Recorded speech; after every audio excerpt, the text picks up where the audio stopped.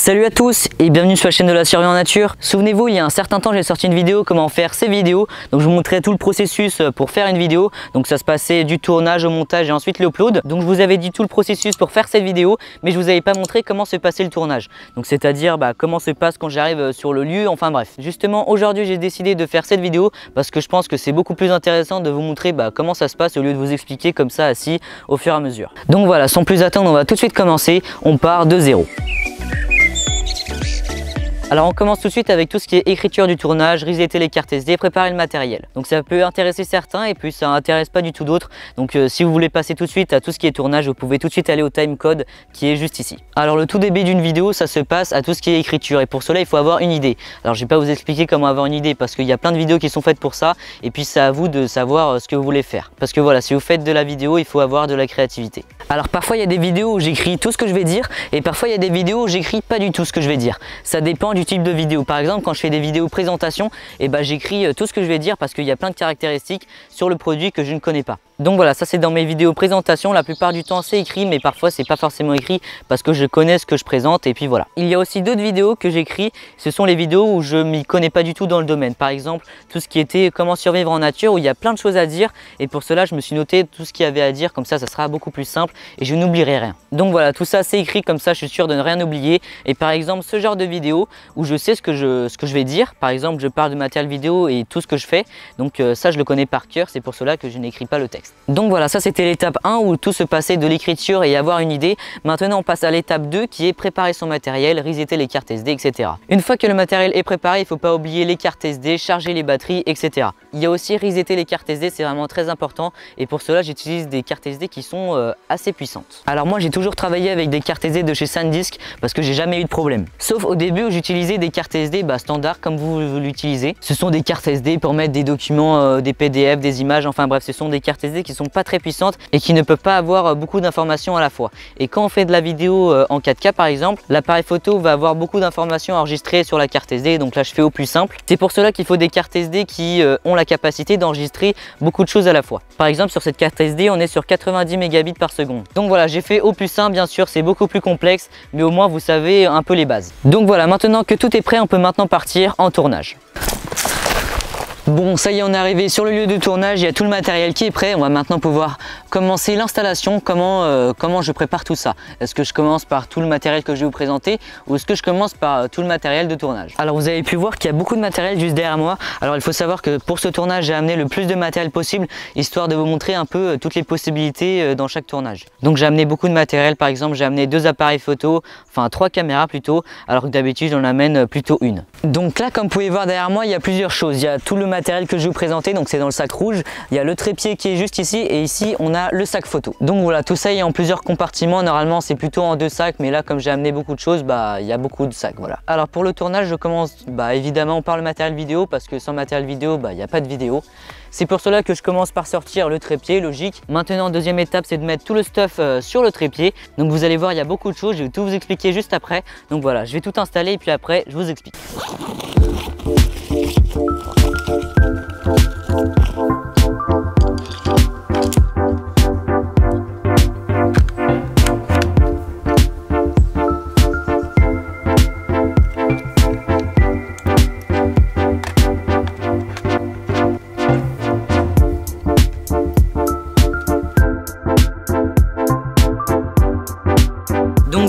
Tout installé. Donc normalement, quand je fais des tournages, il n'y a pas tout ça parce que là, j'ai vraiment tout installé pour tout vous expliquer. J'ai juste commencé par le micro et le moniteur parce que j'ai besoin pour euh, faire la vidéo parce que là, je sais pas du tout ce que je filme. Alors ici et ici, j'ai deux micros de chez Rode. Ici, on a le Rode Video Mic qui est un micro canon et puis ici, on a le Rode Link qui est un micro cravate et d'ailleurs, j'ai le micro cravate qui est juste ici, sauf que vous m'entendez avec le son de la caméra. Je m'excuse d'ailleurs si le son est pas très bon, c'est parce que du coup, bah, j'ai mes deux micros qui sont ici. Alors, on va commencer par mon premier micro qui est le Rode Video Mic qui est juste ici. C'est un micro canon, c'est pour moi le meilleur micro. Pourquoi? Parce qu'il est tout petit, ce qui fait qu'il va être très pratique si on veut par exemple le mettre sur un stabilisateur. On va voir ça juste après.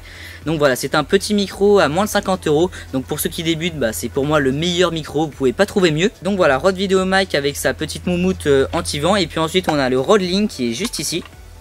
C'est un micro HF, c'est-à-dire qu'on a un émetteur et un récepteur. Comme vous pouvez voir, il n'y a pas de fil entre mon micro cravate et euh, le boîtier qui est branché à la caméra. Il vaut à peu près 250 euros. Alors oui, c'est un budget, mais il faut savoir que le son, c'est ce qu'il y a de plus important dans une vidéo. On va maintenant passer au moniteur parce que j'en ai besoin pareil pour filmer. Puis après, on va passer à la caméra. Donc pour le moniteur, c'est un moniteur qui est très basique. Donc c'est les moins chers qu'il y a sur le marché. Pourquoi? Parce que j'avais pas besoin euh, d'un moniteur qui est très perfectionné. Et puis pour l'instant, ça me suffit largement. Il fait tout à fait le job. Quand j'aurai besoin de changer de moniteur, je prendrai un moniteur Atomos.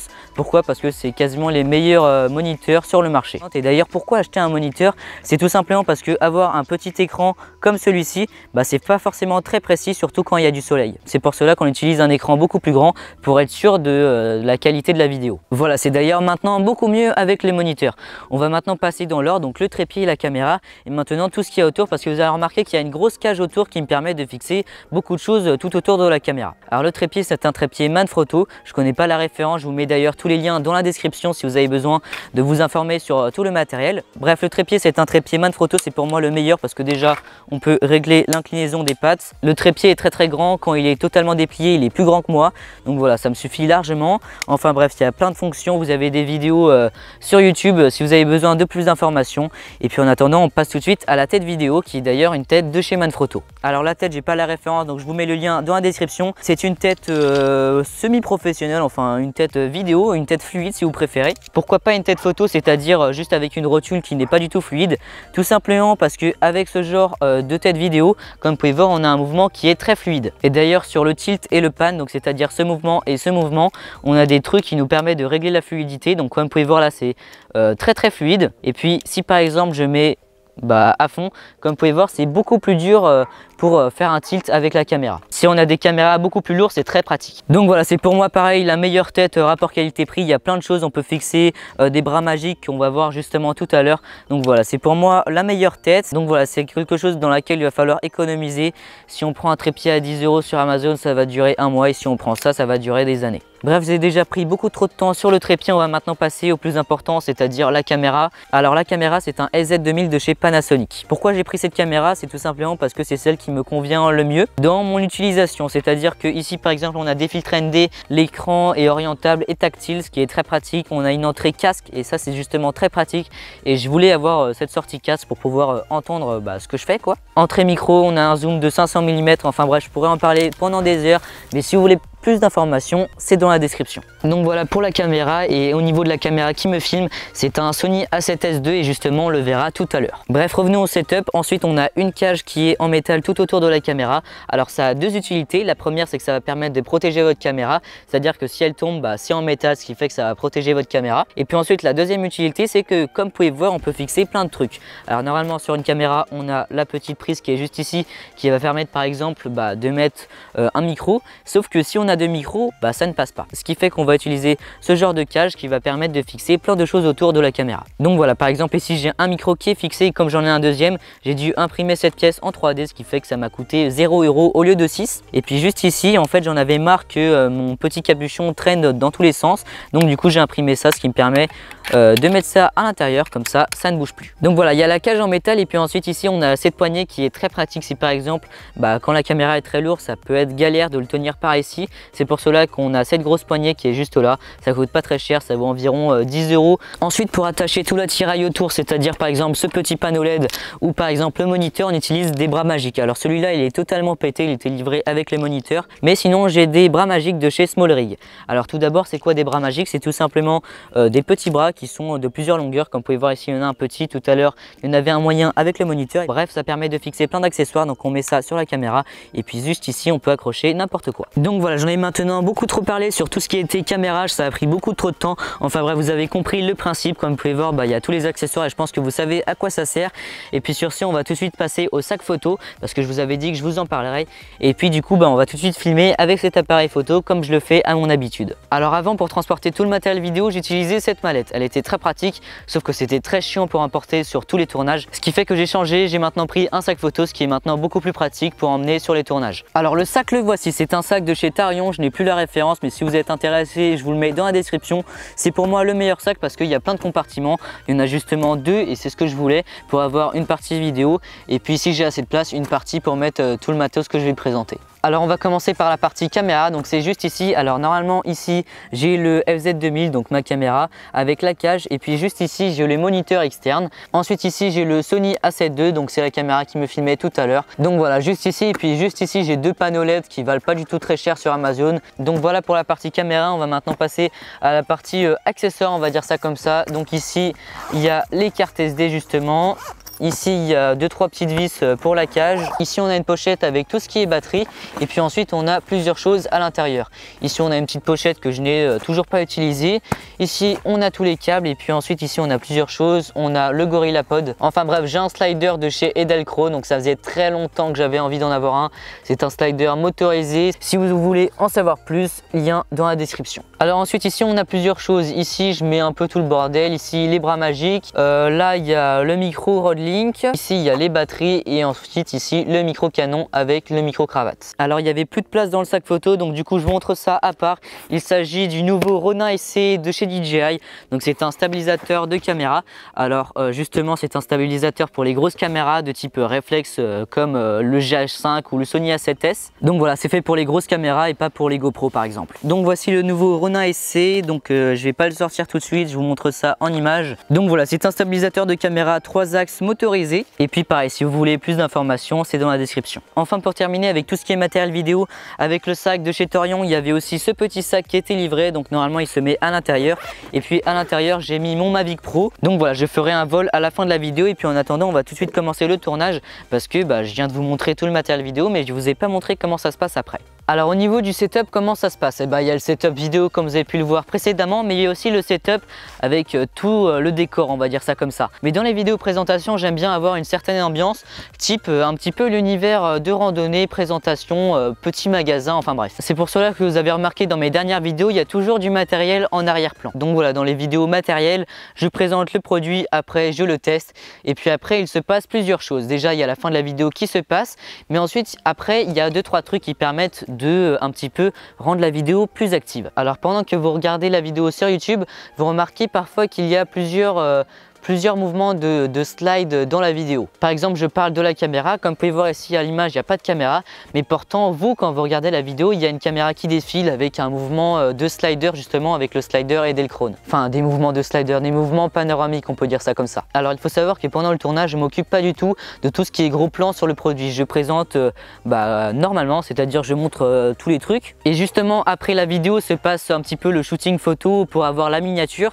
Mais aussi, j'installe le slider et euh, le Ronin pour avoir euh, des mouvements fluides euh, sur le produit et des gros plans sur le produit. Donc je montre un peu toutes les fonctions en grand plan. Donc voilà, je vous ai maintenant tout expliqué. Après bien sûr en fonction des tournages, il y a quelques options qui se passent comme par exemple sur les bivouacs où c'est pas du tout la même chose et ça prend une journée entière. Surtout pour le montage où ça prend justement beaucoup de temps. Et puis juste avant de terminer la vidéo, je vais vous montrer un vol avec le Mavic Pro et puis je vais tout de suite vous montrer le Ronin SC de chez DJI. Donc, comme vous pouvez voir, c'est un stabilisateur 3 axes et comme vous pouvez voir il est très réactif, la caméra ne bouge pas, c'est-à-dire qu'elle reste droite. Alors déjà très gros point positif, il me semble que la batterie tient un peu plus de 12 heures, ce qui est euh, énorme en fait. Ensuite au niveau définition, bah, c'est juste parfait, tout est en métal, il n'y a pas une touche de plastique, sauf sur la batterie. On a des locks moteurs, on va pouvoir customiser le Ronin comme on veut, donc on va pouvoir faire des time-lapse, on va pouvoir euh, configurer euh, les moteurs comme on veut, donc mettre la vitesse de réaction, enfin bref tout ce qu'on veut. En mode 2 j'ai mis l'option FPV, donc comme vous pouvez voir ça suit euh, les mouvements, plonge la caméra vers l'avant, enfin bref, ça c'est le mouvement FPV. Et en mode 3, j'ai mis le 3D Roll 360, c'est-à-dire qu'avec le joystick qui est sur la poignée, je vais pouvoir faire comme ceci avec la caméra. Donc voilà pour ce stabilisateur, c'est le meilleur du marché. On peut pas trouver mieux en fait. Rapport qualité-prix bien sûr, il y a plein d'options que je vous ai pas montré. Je vous ai montré ça vraiment très très rapidement. Et puis maintenant on va tout de suite passer au vol au drone.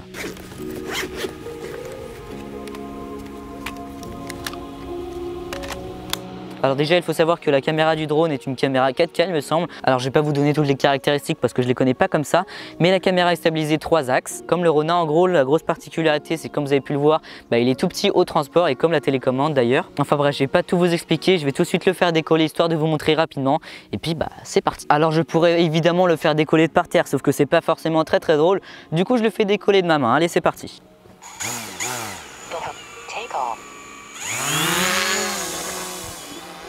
Et voilà, il est parti. La grosse particularité de ce genre de drone, c'est que bah, je peux même pas le regarder, je peux le laisser comme ça, il va pas bouger. C'est des drones qui sont automatisés, c'est-à-dire que bah, j'appuie sur Home et puis il va se poser tout seul sans rien faire.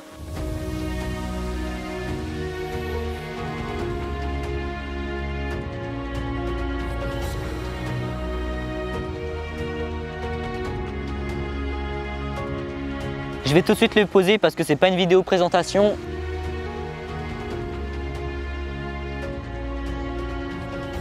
Donc voilà les amis, c'est la fin de cette vidéo. Je vous ai montré tout le matériel vidéo que j'avais. Donc ça part des caméras et comment se passe le tournage? Il ne faut pas oublier que vous n'êtes pas obligé d'avoir autant de matériel pour faire des vidéos de bonne qualité. Il y en a qui font des vidéos bah, super et seulement avec un téléphone. Voilà, si j'ai autant de matériel, c'est que mon père fait de l'astronomie. Donc il a euh, pas mal de caméras et pas mal de matériel dans tout ce qui est euh, vidéo et photo. Et c'est aussi parce que la vidéo me passionne, donc c'est pour ça que j'ai autant de matériel. Voilà, une personne qui s'en foutra de la vidéo n'aura pas autant de matériel. Donc voilà les amis, tous les liens sont dans la description si j'en oublie quelques-uns et si vous avez des questions, c'est dans les commentaires. N'oubliez pas que si vous avez aimé cette vidéo, n'hésitez pas à mettre un pouce bleu, à vous abonner si vous souhaitez en voir plus. N'oubliez surtout pas de me suivre sur Instagram tout simplement parce que je vous informe lorsqu'une vidéo euh, sort, lorsque je reçois du nouveau matériel et surtout lorsque je suis sur les tournages. Ça permet d'avoir plus d'informations et puis vous pouvez aussi me contacter. Bref, sur ce, j'espère que cette vidéo vous aura plu et à toute pour une prochaine vidéo. Salut Salut à tous et bienvenue sur la chaîne de la survie en nature. Il y a à peu près deux mois, je vous ai présenté ce réchaud qui est le Comstock 2 de chez Biolight. Pour ceux qui n'ont pas vu la vidéo, ça s'affiche juste ici. En bref, c'est un réchaud à bois qui a la capacité de produire de l'énergie à l'aide d'un boîtier qui va se fixer sur le côté du réchaud. Mais ce n'est pas tout, avec ce réchaud, il y a plusieurs accessoires qui sont disponibles, dont cette grille.